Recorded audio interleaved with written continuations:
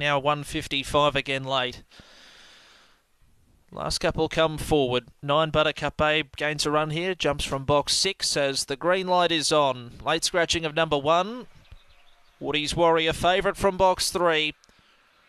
Racing, far more lucky away just fairly. Good pace. Shari's Angel goes forward to lead by a couple. Far more lucky picking up ground in second. They were followed by Class of 20. Next, the inside split the night. Further back to Western Hawk, no personality, and Buttercup Babe around the turn. Far more lucky. Plenty of room to come after Shari's Angel. And the final favourite draws away late. Far more lucky by two and a half. Beat Shari's Angel Class of 20, then split the night. They were followed further back in the field then by no personality, Western Hawk, and Buttercup Babe. The time around 19 and 40. Just had every chance the favourite, and she's been too good. Drives through late to win. Number three, far more lucky for Cecil Drury.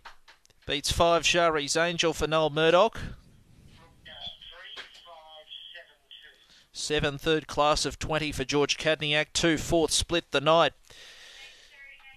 So interim numbers